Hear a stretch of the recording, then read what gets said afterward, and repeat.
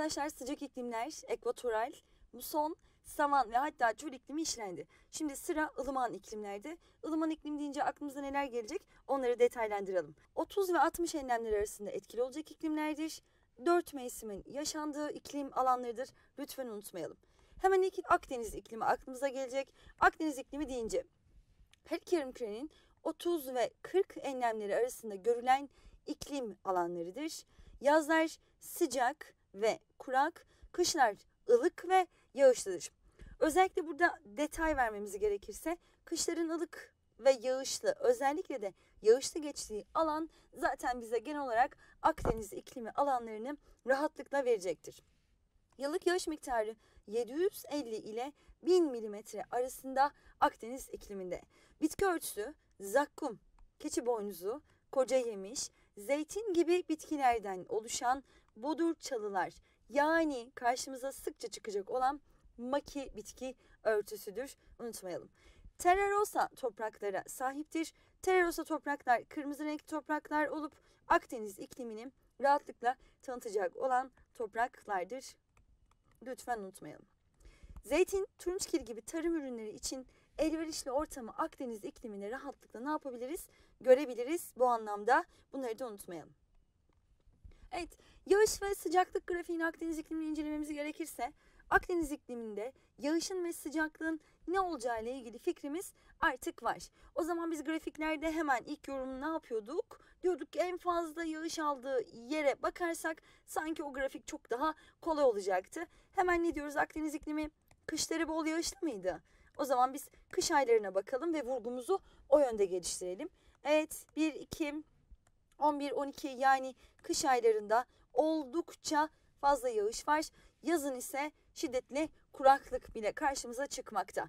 Kışları yağışlı olan iklimimiz neydi bizim? Akdeniz iklimi. O zaman kış aylarındaki vurgumuz bize bu anlamda Akdeniz iklimini kolaylıkla verebilir. Bunu yaptıktan sonra sıcaklık ortalama grafiğine bakalım. Bakın sıcaklıklar arkadaşlar 10 santigrat derecenin altına düşmemiş. O zaman ortamda kar yağar mı derse hayır genel olarak kar yağmayacak. Çünkü kar yağması için grafiğimizin 0 santigrat derecenin altına düşmesi gerekmektedir. Eğer böyle bir vurgumuz yok ise ortamda kar yağmaz diyeceğiz. Lütfen bunu unutmayın. Demek ki Akdeniz iklimi genellikle kar yağışından çok uzak alanlardır. Ve ne olmuştur arkadaşlar bakın sıcaklıklar ortalama 24'lere kadar yazın çıkabilmiştir. Bunu da unutmayalım. Yine Akdeniz iklimi acaba dünya üzerinde nerelerde etkilidir diye bir soru karşımıza çıkarsa ve bu anlamda bize bir harita verirse haritayı nasıl yorumlayacağız? Bu çok önemli bir vurgu. Hemen ben buraya bir yıldız koymak istiyorum. Genellikle Akdeniz'in yayılış grafiği, dünya üzerindeki yayılış grafiği karşımıza sıkça soru çıkartacak. O yüzden bunları detaylı olarak işlemekte fayda var. Şimdi bakın Türkiye'nin olduğu, ülkemizin olduğu bölge zaten Akdeniz iklimini görecek. Buna Yunanistan, İtalya, Fas'ın e, kuzeyi, yine Fransa'nın güneyi, İspanya, Portekiz gibi ülkeler dahil. Bu alan Akdeniz iklimi. Peki hemen aynı enlemdeki Amerika'nın Kaliforniya dediğimiz bölgesine Akdeniz iklimini görecek bölgeler arasında unutmayalım Kaliforniya ve yine Türkiye'deki aynı enlemlere denk gelen ülkeler. Aşağıda ise yine 30-40 arasında demiştik ya. Ortalama bakarsak 30-40 enlemleri buralar olacak ve yine Güneybatı ve Güneydoğu Avustralya'da Akdeniz iklimini görebiliyoruz.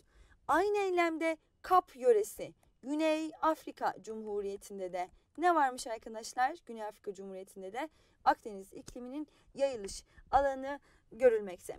Orta Şili dediğimiz Şili'nin daha üst kısımlarında yine Akdeniz iklimini rahatlıkla görüyoruz. Tekrar etmek gerekirse Kaliforniya aynı enlemlerde Türkiye ve civarındaki Akdeniz ülkeleri yine 30-40 enlemlerin içine alan Avustralya, Güney ve Güneydoğusu, Kap yani Güney Afrika Cumhuriyeti ve yine Şili yani Orta Şili olarak Akdeniz ikliminin yayıldığını görebiliriz. İkinci iklimimiz okyanusal iklim, ılıman iklimler arasında yer alan yine önemli iklim konularından, konu başlıklarından bir tanesi de okyanusal iklim. Okyanusal iklim ılıman iklimler içinde yıllık sıcaklık farkının en az olduğu iklimdir. Neden derse nem fazla mı olacak arkadaşlar az mı olacak? Biz ne demiştik sıcaklık farkının az olması için nemin kesinlikle fazla olması lazımdı. Demek ki nem oranı oldukça yüksek bir iklim alanı, okyanusal iklim unutmayalım. Yazlar serin, kışlar ılıktır. Yine burada aklımıza gelecek önemli bir detay var. Biz ne demiştik? Nem fazla ise ortamda sıcaklık farkı ister günlük ister yıllık çok daha azdır. Bunun ispatı da soğumanın ya da ısınmanın çok fazla olmamasıydı.